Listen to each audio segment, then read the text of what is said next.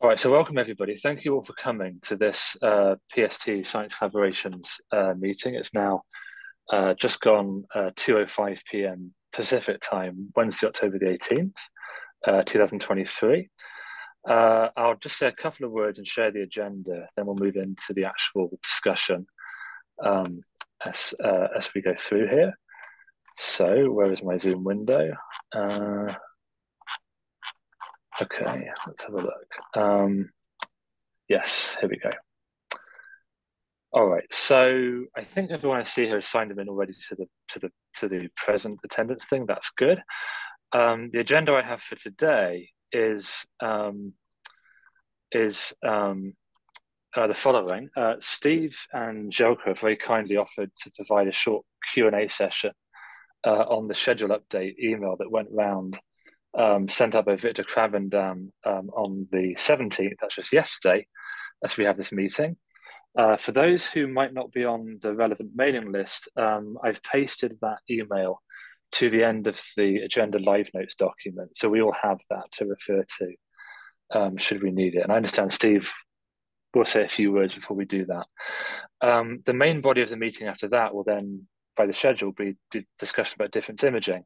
Uh, Eric Bellm has very kindly uh, prepared a presentation, uh, we'll have some discussion after that, and then we'll we'll see where we go. Uh, so I think that's everything I had. Um, before we do launch into the schedule update, um, are there any questions or comments anybody wants to raise before we start in on this?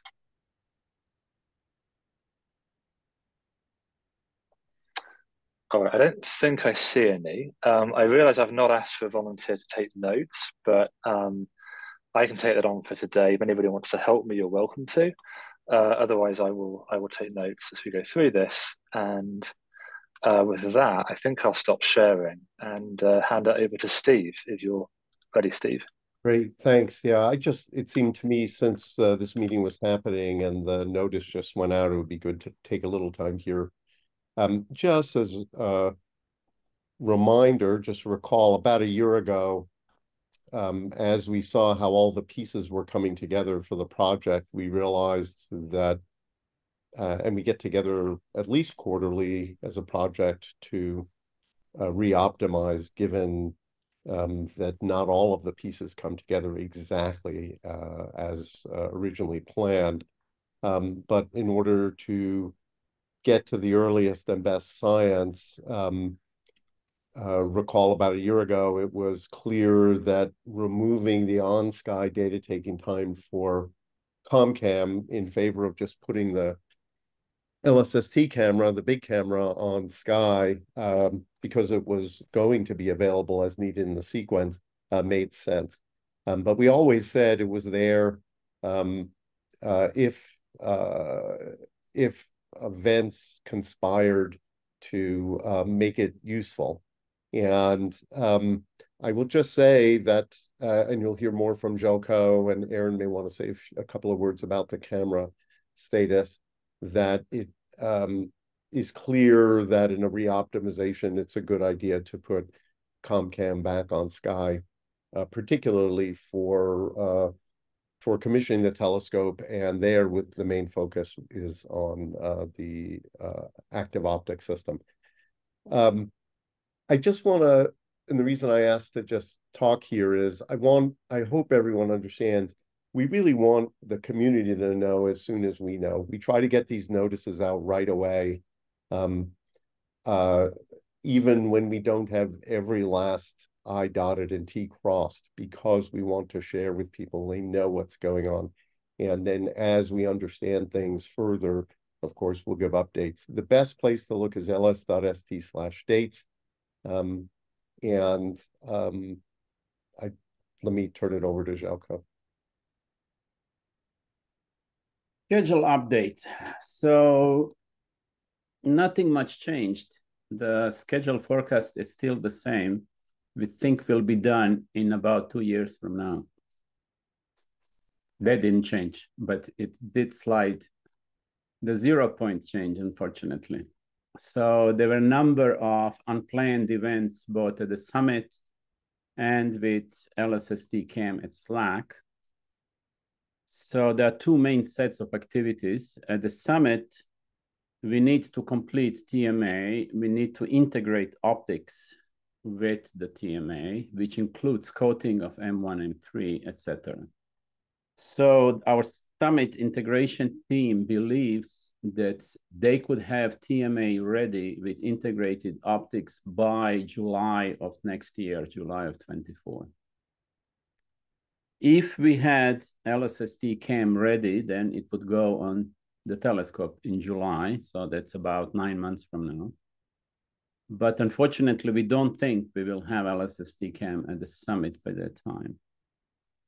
There is a problem with vacuum leak, and there is a bit of good news that the leak was plugged last Friday, I believe. So far, the vacuum is holding up. There were some additional tests with the second phase of that fix with adding epoxy that tests are not giving us clear answer that we should go and apply epoxy as a second step. So there, there are more details to it. At this moment, it's moving in the right direction, but we are not out of the woods yet assuming that it will go as planned and that very soon we will commence the last phase of EO testing, we are planning to fix the shipment date in February of next year.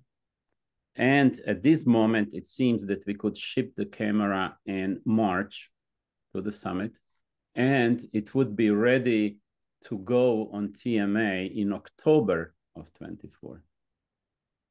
Now, you remember I said TMA will be ready in July, and that opens a window of about two to three months where there is a good chance that ComCam would go back onto the TMA and we would get some on-sky engineering data. And decision whether we will do that or not will be made in January or around January of the next year. That, of course, will be dependent on what whether we stick to the existing plan on the summit as well as the camera team confirming that they fixed the leak. That's where we stand. So if everything goes according to the current plan, then we would have system first light with LSST cam in January of 25. And we think that operations readiness review could happen in late May or June of 25. And hopefully before the end of calendar year 25, we would have operations and LSST going on. That's where we stand right now. The main risks are, of course, that things on the summit do not progress as well. Our team, integration team, says they're rather confident in the plan as it is. So we are talking about nine months. Historically, we were moving at 80%. So if you add 20% on it, you get maybe two months more. So in this case, we'd lose ComCam on Sky if LSST cam arrives on time. But the other risk is that we are going to successfully accomplish that fix of the vacuum leak and that everything will go well with your testing and that we will actually ship the camera in March. So these are all risks that we have. It's hard to predict future, as you know. So this is, I told you everything that we know. There is nothing that I held back. So back to you, Steve. No, I think that's it. Um, let's, I think, open the floor for questions. Um, I can start with one. Um, what people are thinking. Um, thanks, Željko. That's great. So, um, in in terms of what dates people who are working on NSF proposals or follow up proposals might put down for when LSST main operations can start, um, it sounds like the the number we should now use is what December twenty twenty five. Do I hear that right? late 25. So optimistically, it could happen as early as June of 25 for, for LSST start. I don't think it can happen before June of 25. I'm hopeful it will happen by the end of 25. but that's the range. So I, we can't be more precise than that. We do understand it's it's a problem when you have to write proposal. We write them ourselves, but that's the best we can do at this time. All these dates are not earlier than. All are not earlier than. Okay, that's consistent with um, what we've been hearing. Thank you. Yeah. Um, I see Meg's hand is up. I guess my question is: is how much of the camera status can be made public and when?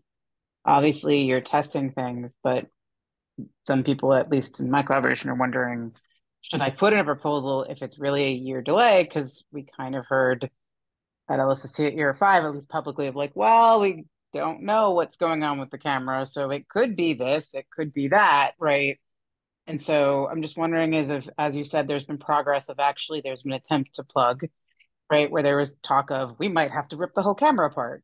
I know that um, necessarily um, isn't um, right, or like the discussions uh, of that. So just wondering is is there plans to update the community in some way of course. That people were debating about this because I think some people are like, oh, they're still assessing, right? It'll take months before they they do something because obviously this is serious. But it sounds like there's been a lot of uh, progress right now. I'm just wondering how much can we say, or is there some way you'll give an update at some this point all, for people? This, this discussion is 100% public. It's being recorded and it will be posted. Number one, maybe Željko or Aaron, Aaron, would you like to say a couple words on yeah, this? let me yeah, let me step in. So I mean, Željko gave the highline summary, and um, uh, it is true in our discussions of this, we have uh, you know we have identified that if we could not patch this vacuum leak in place, and we needed to disassemble, you know, it's not the whole camera, it's the utility trunk. That's the back cylinder that has all the support equipment that would be a very substantial bill. Um, okay, so we're we're not in that situation today. So we we have uh, we had a um, extensive uh, meeting, so not a review, but we we classified as a notice to proceed meeting, which is a method we use when we have sort of consequential activities with hazards or risks. So we conducted that last week um, with, uh, with a, a, panel of you know engineering experts around Rubin and here at SLAC uh, with our plans, and that you know that committee didn't have any um, you know had some good advice, uh, did not point to any showstoppers, so we made a decision to proceed with the first part of our remediation plan, and that was to plug the leak with a low viscosity epoxy. So that we did that uh, on Friday, and that was successful. So right now there is no leak. Um, we have a we have a second step that we were going to take to apply uh, a different epoxy and a conformal coating. So sort of coating the full region of this flange as a risk reduction step to prevent any future leaks. And at the same time, we were conducting tests on a sample flange, so not part of the camera, uh, a duplicate of this feature that we built. And that testing indicated a problem at the second step. So at this point, we are going to proceed cautiously, um, uh, book, both on the camera and with further testing. So now, in terms of more public statements, you know, we there is the monthly uh, monthly message uh, from the observatory to the full community, and I would say um, that you know for the next one of those we can mention uh, uh, you know the progress that we have at the time that's appropriate. You know we are we are still hoping to restart the fi- this final testing period, and if that's restarted, we can certainly update the community about that. Okay. So it's a it is a complicated story. Um, uh, so you know, one difficult to kind of encapsulate in a in a single state, but that that is the status as of today. I hope that's helpful. And, and I want yeah, to that's, again, that's very helpful. Thank no, you. No, there are no secrets about the camera stays. I don't think there is. I think it's that the information's coming out in ways that aren't written down. It's so if you weren't at LSST if you're at five, you're hearing it from people that were there, and then the message that came out today, so or yesterday. So I think it's just um, that the new latest right of how you'll communicate that. So if it's going to be in a digest in early November, I think that's great. Yeah, I think I, I you know, I would like to use the digest, which would, you know, have a, a briefer version of what I just mentioned and whatever status is appropriate. I think that's something we can certainly do. I will add, this is why we also use ls.st slash dates so that we don't have to do a sort of, well, at this meeting we heard this, at this meeting we heard that. Everybody has the same source. Um, that if you tie everything at one place, it tends to reduce ground loops. So those are the two places to look. Steve, can you remind us how often LSS, ls.st slash dates is updated? Monthly. Monthly. Mon monthly. Okay, thank you. It's triggered by our agency reports that are sent monthly. And it's not exactly monthly because sometimes some budgetary information gets stuck in the process. So sometimes it's delayed by a week or two. So until agency report goes out, we do not update those LSST dates because they have to find out first. But then one hour afterwards, we update the website. Yes, in that sense, it is, is official. It's what the agency's been told. Exactly. Yeah, that makes sense. And then when there's a big change or strategy change or something like that, then the project issues uh, communicate like the one Victor sent out yesterday. Okay, well, thanks very much. I know we need to get on to Eric's uh, talk. If there are any other questions or concerns, though, we definitely would appreciate hearing them. Thanks. And ju just to comment, if people do have questions after this discussion, um, you can enter them into the agenda live notes here, or just send them, I suppose, to I guess myself or Steve would get them. And there is an announcement that I think came out yesterday that has summary of the scheduled workshop and those dates I mentioned. Is that the email by Victor? Exactly. Yeah. We have that. And actually, for those in the meeting, that's pasted in this document as well at the end of the agenda for this meeting. So we will have access to that. But yeah, thanks for the reminder. Okay, um, before we do move on then, um, are there any questions or comments on this issue um, before we, we let Eric um, explain about difference imaging? I see Graham, your hand's up. Hi, Will. Hi, everyone. Um, sorry if I missed it, and um, one of you said it very clearly already.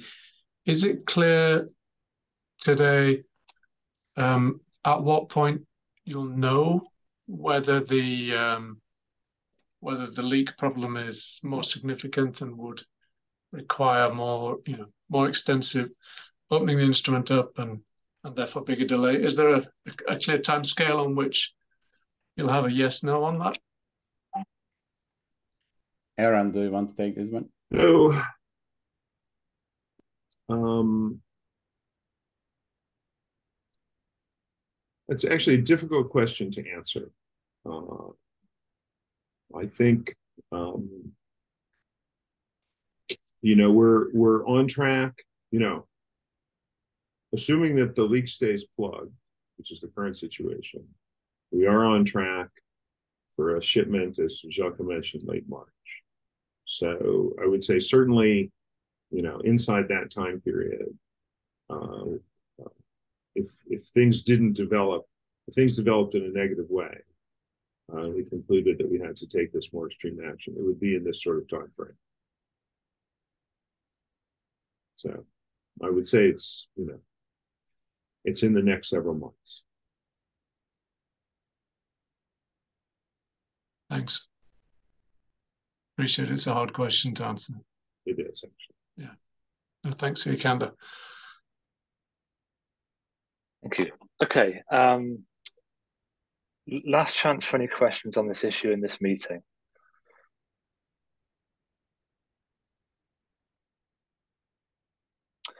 Okay, um, thanks all. Um, in that case, I'll move on to the uh, the difference imaging discussion. Uh, so Eric has very kindly offered to uh, to tell us about difference imaging. Um, Eric, you should be able to share screen now, so uh, your slide should should project onto. Should we just make sure it works? That look good? That looks good. Thank you. All right. Uh, and are we trying to finish at the top of the hour, Will? That'll um, I'd like to finish. I'd like to finish at five till if we can to give people a chance to move on to whatever they're doing next. But we'll see how we go. The discussion often ends up expanding past the time we give it. In, indeed. Okay. All right. Uh, well, thanks everyone. Um, I'm Eric Bellm. I'm the science lead for alert production uh, for Rubin. Uh, I was asked to come and report on uh, status of image differencing. Um, and so I have um, kind of a broad uh, outline here of topics. And uh, I guess I would encourage folks to jump in uh, if they are interested with questions, because I suspect there's more material here than we'll cover in 30 minutes. Um, there are, um, so I'll talk about algorithms and data sets and metrics and some of our progress on completeness and machine learning uh, scoring of uh, different image sources. Uh, there was some interest in crowded field processing, uh, and I can talk a little about, about what we're doing with AuxTel and in commissioning. Uh, I don't plan to talk about streak masking, alert latency or execution time, template generation, or alert distribution, but if those are topics of particular interest, we can circle back to them. Um, so I will go ahead and dive in here, um, move maybe a little quickly, but again, um, I hope folks will jump in with questions uh, on the parts that are of particular interest. Uh, I do want to start by acknowledging that uh, Alert Production is part of the larger data management team, uh, and there are contributions uh, from a, a, huge range of individuals, uh, many of whom you see here in this picture from our visit to Chile earlier this year.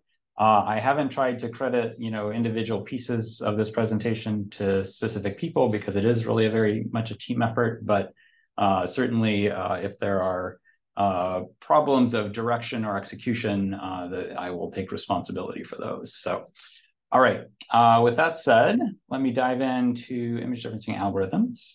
Um, so I, I, think I can go fast here with this audience. Um, you know, the idea of image differencing is to find things that are changing, do it quickly, uh, you know, get rid of background sources and galaxies and crowding, uh, and then uh, do so efficiently. Uh, and so this is a technique with a storied history in astronomy, and we are standing on the shoulders of giants. Um, the challenge, of course, as we know from the ground, is that uh, you know the PSF is changing. Uh, some of the naive things you might think about, uh, you know, sort of matching the, you know, just uh, convolving with the uh, the worst seeing image, you you run into trouble because you need to know the PSF very quick, clearly, uh, and there's some numerical issues that come up.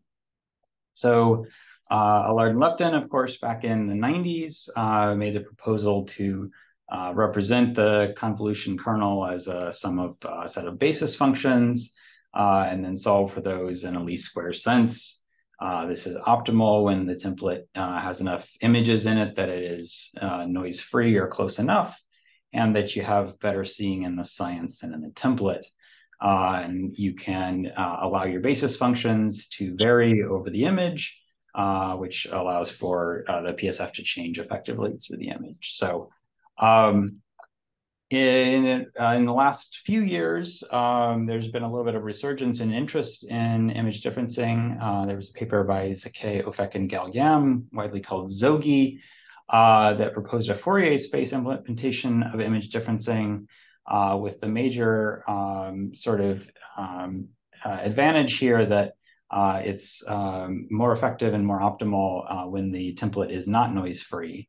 Uh, it's also fully symmetric uh, between the two images that you're subtracting, uh, but you have to know the PSFs. Uh, re-inspired by this, uh, um, David Reiss and, and Robert uh, recognized that you could use the same sort of noise whitening ideas within the Lupton framework, and so wrote up a tech note, which you see here. And so um, have all the advantages of noise whitening and getting your detection thresholds right uh, without requiring you to know the PSFs exactly. Uh, so this was demonstrated uh, again some years ago. Um, and so, you know, in thinking about the trade-offs between these, these two algorithms, um, the major, I would say, advantages of, of, of ZOGY is it's, you know, fully symmetric between your two images. Uh, and if you have misaligned PSFs, it will handle those nicely. Uh, but the worry is that because you have to know the PSF very well or the ratio, uh, there's concern that it will not perform as well in crowded fields. And empirically, you know, um, you know, working in Fourier space, you start to see issues with uh, all the real effects uh, in real images in terms of uh, gaps and edges and interpolations and so on. So um, most of our effort on the project to date has been focused on what we're calling a decorrelated Alard and Lupton. Uh, and the major challenge there is in terms of um, uh, understanding what to do when the science image has better seeing than the template.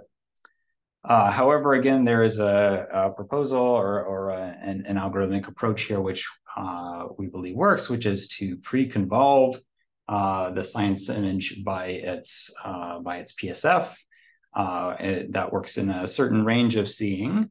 Uh, but when you do that, the then plugging that through the sort of Alard and Lupton framework uh, gives you at the end not a difference image, but directly the likelihood image that you detect on. So it requires a little bit of different bookkeeping, but uh, the overall uh, effect is quite similar. Um, so we have been using this and, and uh, working with this in science pipelines and uh, believe that we now have an implementation that uh, has reasonable performance. This cutout on the on the right is um, a pre-convolved image where again the science image has slightly better seeing than the template. Uh, there is clearly still uh, an artifact kind of dipole situation in the lower left, uh, but I would say that overall it's a very clean subtraction um, and a good sign. So uh, I think we have a fair bit uh, more work to do here uh, to convince ourselves that this is the solution. Um, but I think overall, uh, we feel pretty confident that um, this decorrelated approach uh, will be successful. Will, I see your hand. Yeah, thanks, Eric. Does this all require that the template and the science image both use the same camera? Or could one imagine using uh, Im a template image from a different camera with better seeing or now with a PSF, how we define that, um, to, to, to, to, to do this? I think you still require the same camera in both cases. Yeah, I, I, think you could do that. That's not something we're expecting to pursue in Rubin um, okay. for kind of a wide variety of reasons. But yeah, I think there's, yeah. you know, pe people do uh, difference imaging against other surveys with some frequency in the real world, but uh, it's not uh, a data management project that we're planning. Gotcha. Okay, thank you. You would need to match the pass bands as well, Will.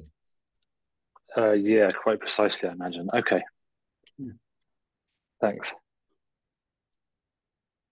Any other questions on this section? I'm going to keep keep buzzing through. All right. Uh, I want to talk very briefly about uh, how we do our testing with precursor data sets. Obviously, we don't have LSST-CAM yet. Um, we use a variety of uh, real and simulated data uh, from dark energy camera, Hyper Suprime-Cam, uh, the DESC DC2 image simulations, and now also uh, AuxTel LATISS. Um, you know, these have different advantages and disadvantages in terms of uh, camera characteristics and depth and, um, you know, scale and so on. Um, but, you know, looking at the effects of processing on real data has really been invaluable in uh, giving us, uh, you know, all the all the real effects that we see in real cameras. Uh, we run sort of at two time scales. We have a number of what we call CI or continuous integration data sets that are just a few images uh, from each of these sets of cameras. Those run in an automated uh, form nightly. Uh, we have a variety of sort of fairly coarse metrics that are computed, and then uh, we can look for regressions and other changes in uh, object counts and runtime and so on. And this has been quite helpful in catching um, pipeline issues that might have been unanticipated uh, and uh, gives us, an, you know, helps us keep an eye on the evolving pipeline performance. Uh, the other sort of scale we run at is, is monthly. Uh, we have larger subsets of these data, again, from the different cameras uh, that we run in, in batch mode on, you know, USDF resources at SLAC, you know, taking sort of a, a day or two to sort of process, you know, hundreds of hundreds of visits and full focal planes and so on. And then we take those and look at their outputs and dig in and identify problems uh, and so on. So, and of course, there's there's also intermediate scale, you know, hypothesis driven testing where we we tweak configurations and compare what happens and so on. But uh, the tent poles again are sort of the nightly small processing and then the monthly regular reprocessing. Uh, in terms of metrics, uh, I would say to date, I, have not been, we have not implemented uh, metrics that I think are good enough yet. Um, we've used kind of some rough proxies for difference image quality to try to assess proportions of artifacts and so on, um, and look at, you know, the completeness of injected fakes and so on. Uh, and these certainly help us identify some issues, but I don't think they really have gotten us close enough yet to where we need to be. Uh, I'll talk uh, a little bit later about some uh, some of where we're going next. Um, but they have given us at least some leverage on uh, you know how the pipeline is doing and allowed us to find and fix fix problems. Um, you know, at some level, the, the biggest challenge is that um, a lot of what we'd like to do is uh, human labeling, you know, identifying artifacts, you know, putting eyes on the pixels is, I think, one of the most useful useful things, and that's unfortunately just labor intensive. Um, this is a March 2020, uh, which is a consequential uh, time period, if you can recall, uh, plot of um, we sort of uh, went through and labeled a few thousand well, maybe not even that many, um, um, maybe a few hundred uh, cutouts uh, with various uh, effects and identified sort of the uh, proportions of various kinds of failures. Uh, and, you know, we candidly haven't redone this specific exercise since then. and so, um, you know, I think that highlights both the need for eyes on data and, and also just the, the fact that it's it, it takes time. Um, what we're focusing on at the moment is um, uh, migrating some metrics into um, what's called analysis tools, uh, which is a package that the uh, DRP team has built and use. Uh, these are some of their example plots, which are extremely data rich, uh, which they use to guide their larger scale data release processing. Uh, and this is a framework that produces metrics and plots uh, sort of as a built-in pipeline component and it has a number of nice features. Uh, and so we are migrating some of our uh, old metrics and, and, developing new ones uh, with an eye to making use of this. And then uh, one of the major advantages then is that we can share uh, metrics code between difference imaging analysis in data release production as well as in alert production. Uh, there's also some nice tooling that comes along with this. On the right, of course, you you know you see again the time series of metrics, which uh, is similar to what I showed earlier. Uh, on the left, uh, there's something called the plot navigator, uh, which automatically populates um, the gener generated plots uh, that are available through the Butler um, in the USDF, and so it may, provides a convenient sort of web interface uh, that is, you know, populated with uh, everyone's collections of, uh, of analysis tools plots. Uh, and we just generated in AP our, our first set uh, in a sprint uh, a week or so ago, and are looking forward to figuring out how to make make better use of this capability. All right, let's talk about completeness. Um, so the way we want to assess uh, uh, fake source uh, uh completeness is through injecting fake sources uh, or synthetic sources, if you prefer that terminology. Uh, we've had some rough capability to do this since, again, about 2020. and it's been running in the pipelines since then. We track it, again, in our nightly metrics and, and look at it in the larger, larger runs. Uh, we've recently brought on board a new hire, uh, Bruno Sanchez, who is looking at this in much more detail and has sort of recharacterized how we how we think about it. Uh, so this is uh, an HSC run from uh, just uh, this this last month, looking at the efficiency as a function of the truth signal to noise. And so the sort of sigmoid curve you get here is what you would expect from uh, just sort of you know uh, integrating the Gaussian probability. Uh, and so you were roughly following the sort of um, uh, shape you expect broadly, and you see, you know, 50% efficiency near five sigma, which is about what you'd expect. Uh, I would say though that there definitely are some bumps and wiggles here that are a little bit. Um, I mean, you can can look at the error bars and think about whether you you you you think that matches the curve or not. But I think there's certainly um, some details here that are worth digging into and understanding. And in particular, I would have expected we'd have more completeness at the high signal to noise end than, than uh, is apparent in this plot in particular. So, um, you know, this may be, uh, you know, sort of a denominator effect where some of these injected fakes are falling onto masked regions that aren't actually accessible to difference imaging, um, but we need to make sure we've got the, the bookkeeping right. And the way to do that is, you know, drill in at the individual source level. So um, we've got these tools uh, and, and, and just need to, to make fuller use of them. Um, there is also a, again, from the DRP team, a new source injection framework that they are using, particularly even with uh, injecting galaxies, as you see in the perhaps a blinking image on the right. Um, so we are taking uh, the source injection, the fake injection code that we have been using and, and making sure we're sharing as much code as possible uh, across science pipelines.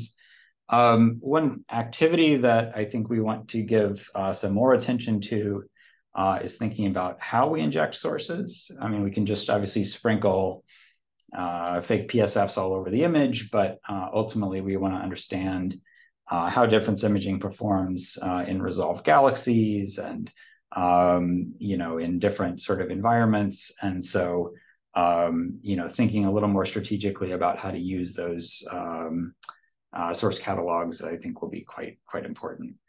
Um, I'm thinking in particular about what we can do uh, perhaps even in prompt processing after the alerts are sent uh, and the 60 second timer has stopped um, we would still like to be able to characterize uh, the efficiency of the image we just processed. And so perhaps using sort of an afterburner, we can get some metrics from that uh, process, uh, even in production. All right, I'm going to keep moving uh, and talk about uh, machine learned reliability scoring, uh, sometimes also called real bogus or spuriousness.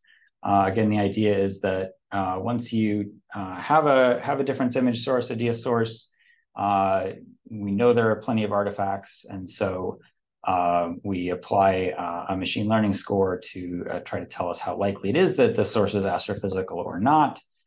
we have a couple of point requirements evaluated a signal to noise of six for completeness and purity uh, for uh, transient and as well as uh, moving object science. And so those are the requirements uh, that we're trying to hit.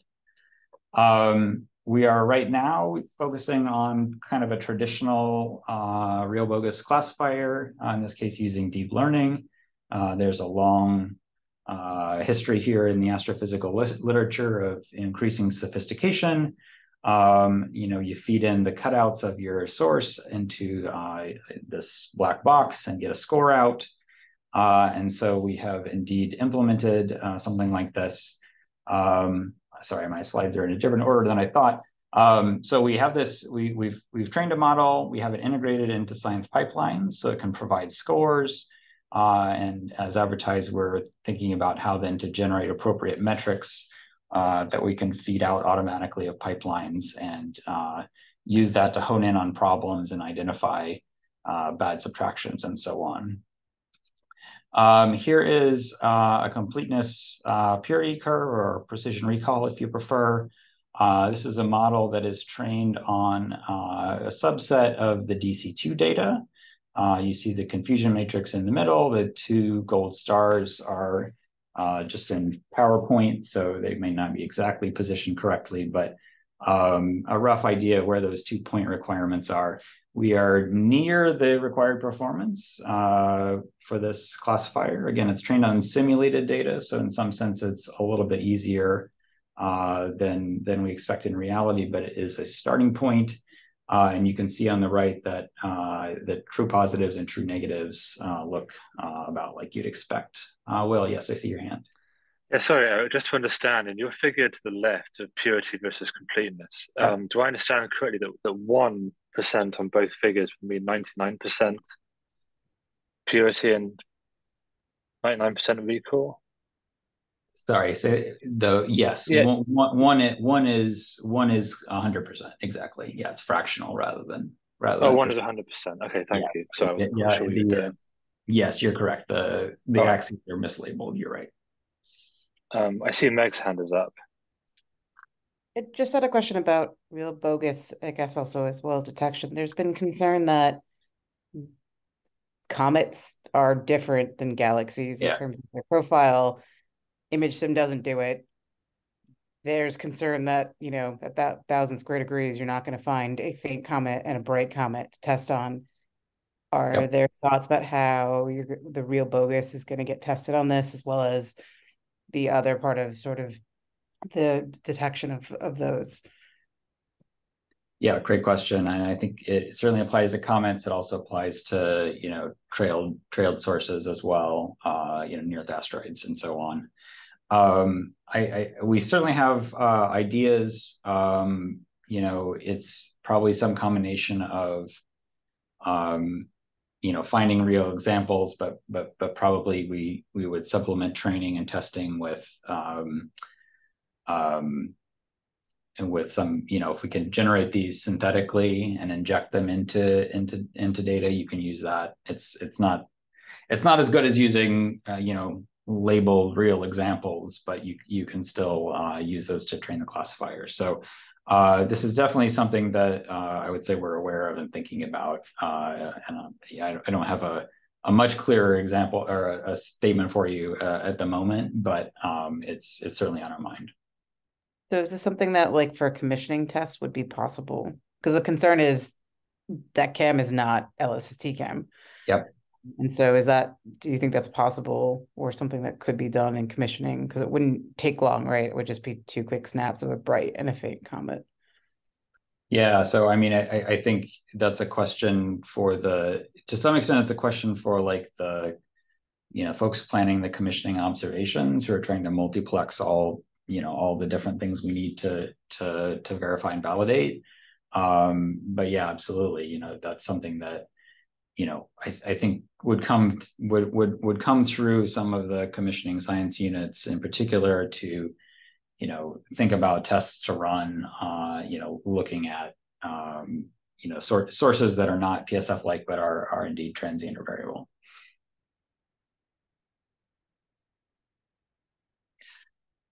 All right, let me keep moving. Um, so I, the model I just showed you was trained on DC2. That's simulated data, which is nice because you have the absolute truth, but uh, of course it's not real data. How do we get from there to here? I think it's uh, here to there. Um, I think there are a few uh, avenues that we're, uh, I think, kind of pursue, pursuing in parallel.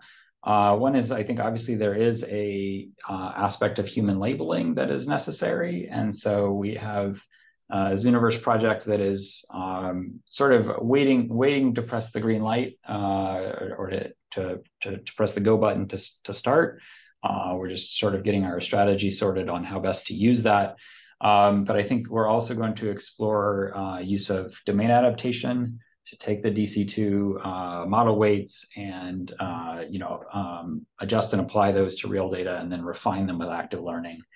Um, this is a, a, little bit of a research project, but you know we know that uh, as the pipelines uh, continue to change, we're going to need to keep the models updated and retrained uh, throughout, frankly, the lifetime of the whole survey. and so um, this is a you know an, an, ongoing project rather than something that you know we'll say is is done on uh, a certain day and never to be touched again. All right, uh, crowded field processing. Um, we have a data set that we've defined uh, from DECAM that we use to test uh, crowded field performance. Uh, it was uh, a couple of subset of a set of fields observed by Avi Saha uh, looking for RR Lyrae and other variables. Uh, and so we picked uh, a subset of these in G and I bands um, and uh, have those sort of available in the USDF. Um, our last major processing of that was in 2020. It's described in a technote DMTN 171 if you're curious. Um, and the major conclusions I would say uh, from, from that run Uh, we identified a number of pipeline configuration changes that we needed to uh, successfully, you know, make it through the pipelines. Um, there is some in the bottom right, you see some sort of renderings of the model PSF. Uh, they're definitely, you know, because the ability to determine that a PSF is certainly a concern in the most crowded fields, and our pipelines at present uh, still want you to find it. Um, I think it was a reasonable inference of the PSF, even in these crowded fields. Uh, and in the left, you see that we were able to successfully process um, uh, images as crowded up as as crowded as uh, you know 600,000 sources per square degree, which is uh, which is quite dense. Um, we did not get back to this data until uh, recently, and actually we have just concluded a new reprocessing of this data um, after you know migrating from Gen 2 to Gen 3 middleware and changing data centers and on and on and on. Um, we have now reprocessed this data again, thankfully. Uh, we got about 95% of the images that successfully finished processing. Uh, it's not the same as saying they have good image differences. Uh, bottom uh, right shows a um, cutout of the image. Uh, you certainly see in dense fields you have more bright saturated stars, but there's also, I think, more residual structure that I don't uh, really believe. And so I think we have some more work here to drill in. So um, we need to understand why the why the images that failed failed and see if we can uh, recover them if they are recoverable. Um, but uh, you know, again, here I think we want to use our uh, injection tools uh, and artifact identification to help us uh, make sure the pipeline is is tuned. Uh, the other concern here about the crowded field is is um, execution time. Uh, just the sheer number of sources uh, tends to make it slower, and so in the 2020 processing, we saw some quite long outliers in terms of processing time. We have to make sure that we're we're fast as we can be. Robert, did you have a question? No. All right, um, let me briefly comment on uh, how we're using AuxTel. Um, alert production in production runs under prompt processing. Uh, this allows us to be uh, driven, event driven, uh, and preload data to meet our uh, latency bu budget. Uh, so we have a specialized um, execution environment that we have been developing over the last year or so uh, and that is now in production. I can tell you more about it if you're interested. Um, but the point is that we're now running, uh, every time AuxTel takes images, we're running prompt processing and alert production, uh, and you know producing different images out of the out of the image uh, out of the those data. Um, you know we're finding operational issues and fixing them. Uh, we have not yet really started digging into the uh, science output products. Uh, and, and that is sort of a, a near-term task uh, to actually make sure that they're producing, you know, decent difference images. There's still, frankly, a, a laundry list here, which I won't talk through, but we, have got a lot of technical pieces uh, still to do in terms of integration tasks, which is again uh, the the sort of the first priority of why we're using AuxTel uh, to prepare so that when ComCam goes on, uh, we we worked out these issues. Um, but uh, again, this is proven uh, a really useful and valuable um, sort of motivating force to, to uh, get us into the right operational mindset. All right, uh, very briefly to close, I wanted to say a couple words about the commissioning science unit. There are actually two of them.